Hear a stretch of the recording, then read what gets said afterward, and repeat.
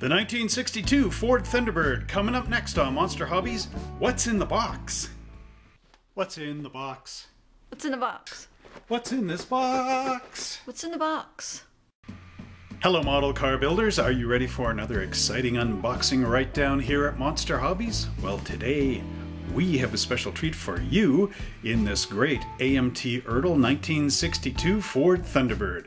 Now, this kit is a reissue, but it did come out originally in the heyday of AMT model building design when AMT was competing against Monogram and Tamiya for the best models ever built.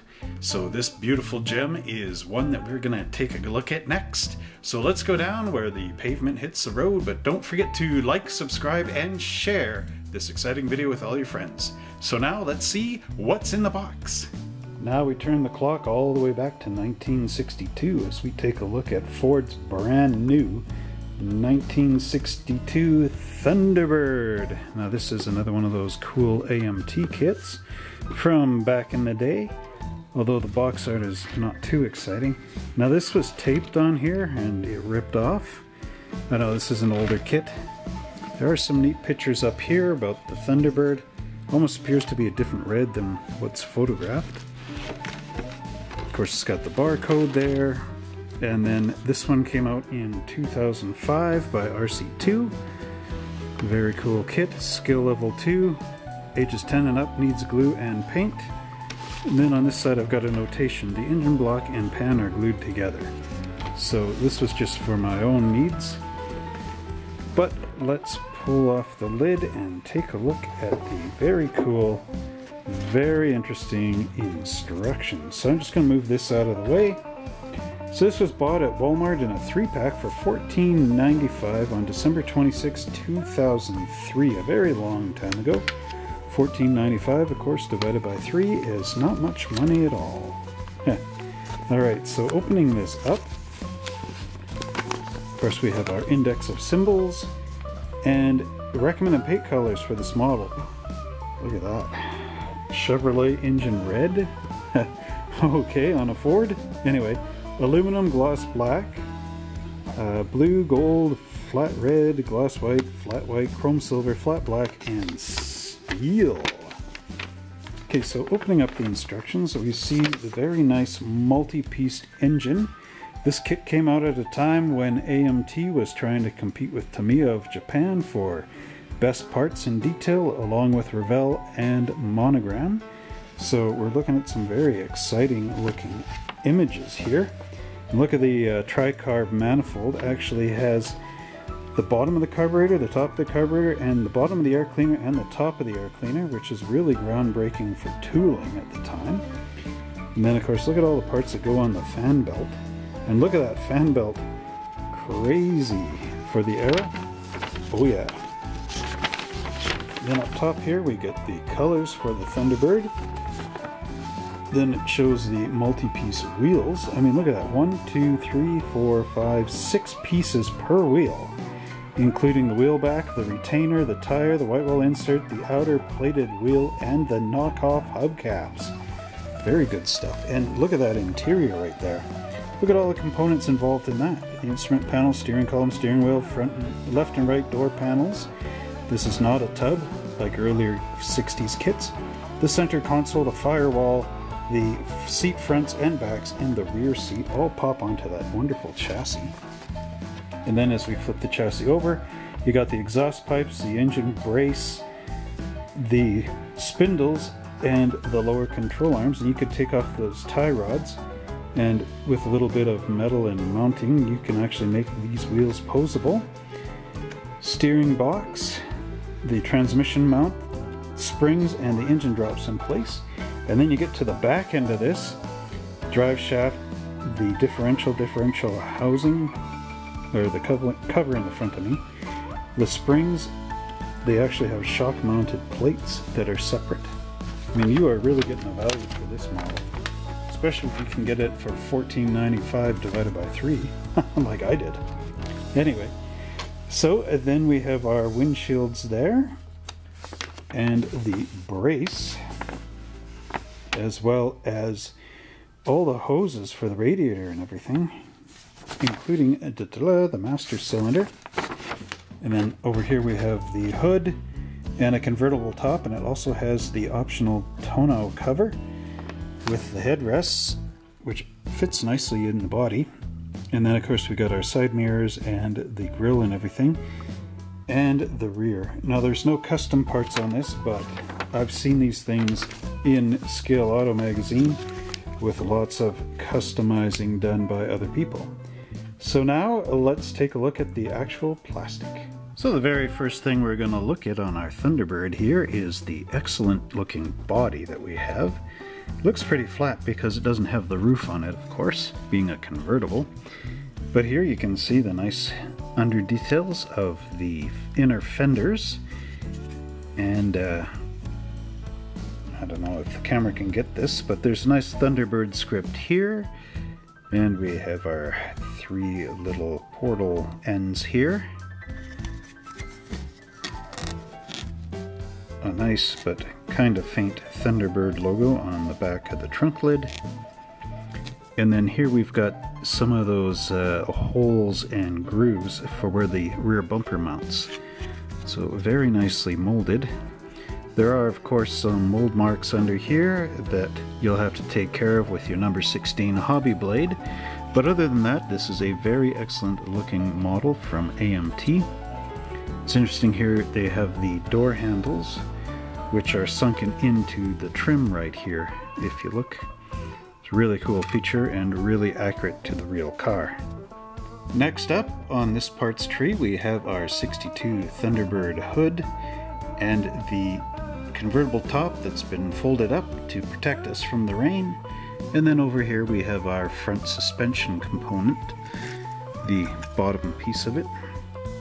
Now looking under the roof here, they have molded in the texture, which is really nice. But unfortunately, these mold marks kind of wreck that. So again, you'll have to use your number 16 hobby knife and just scrape it along so that they disappear. And under the hood here, we have our nice cross rib detail. But again, mold marks. Those shouldn't be too hard to get out. They are in a fairly relatively easy, easy place to get rid of them. Our final body components is the headrest here and these covers which glue onto the front of the headrest.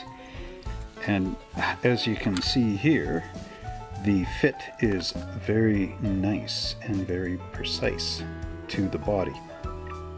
Next up we have our chassis detail, which at this stage in AMT's uh, competition with Tamiya and Revell and everybody uh, the detail on this is really excellent. And look at the gas can here. Or the, that's not the gas tank. this is the gas tank. But look at this detail here on this panel. You got that nice, nice uh, starburst pattern in there. And then if we take this and turn it over, you'll see that there are a lot of nice places for the seats to line up and sink into. But the only downfall we have again are these mold marks, and these are right on the transmission tunnel, which has a carpeted pattern on it. So that'll be a little bit tricky to remove with your knife blade. But judging by these two holes, there should be a center console that goes in here that will cover a bit of this mark. And then of course our dashboard and whatever will be here, so you might not see this one but still excellent quality on this kit. Our next parts tree here has our seats in it. These would be the back seat. And then our door panels are molded separately. And you can see the crisp detail on these door handles. Here you have the power window mechanism for the entire car. Little ashtrays molded in on the back, just like on the real thing. And this is a brace for underneath the hood.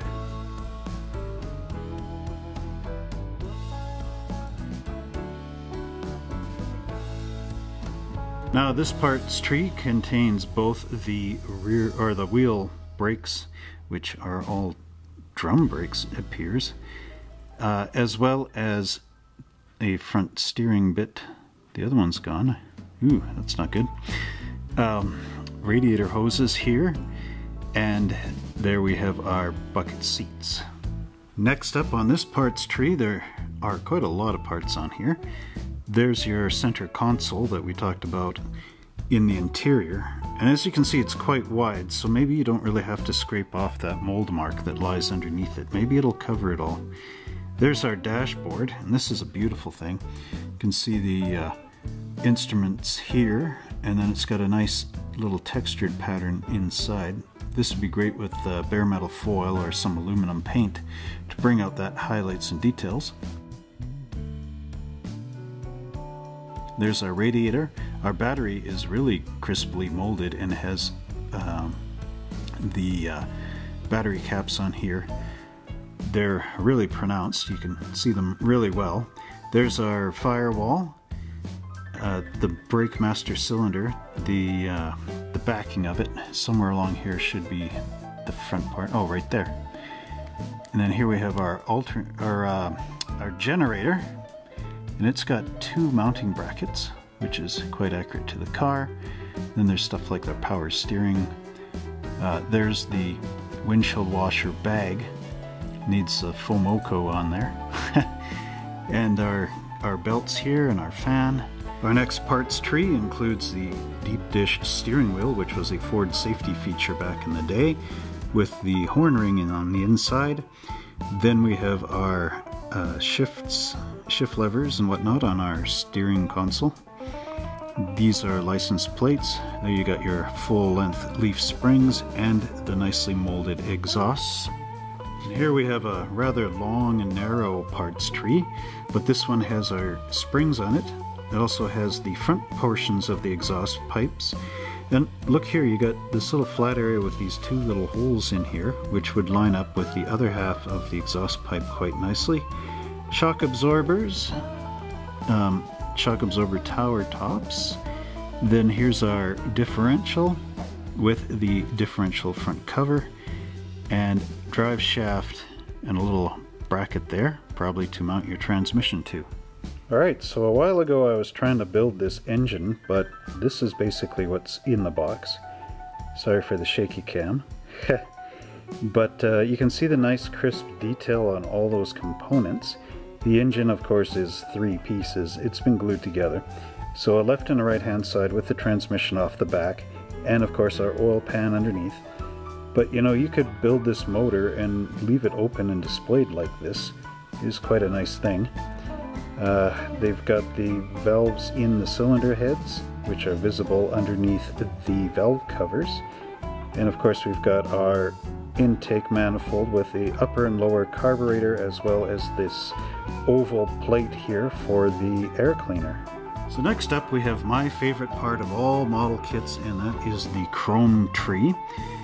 Now there's not very many, actually there's really no custom pieces in this Thunderbird, but the quality of what you're looking at here is really nice and it's excellent that they gave you a fully chromed window frame here because usually when you do these with bare metal foil you always get crinkles up in here and all the rest because the foil has a hard time bending over unless it's really pulled tight. But with this, this is all chrome plated and they put the the mounting attachments here and here so that you won't see it when you glue it in from underneath the car, which would glue in here. And there you got your your separate no draft windows. The grill is beautiful, even though it's upside down in this video. There's your rear bumper, and you got mirrors and all kinds of antennas and windshield wipers there. And these wire wheels are really beautifully done with the knockoffs. And there is the top of your air cleaner with the Thunderbird logo right there.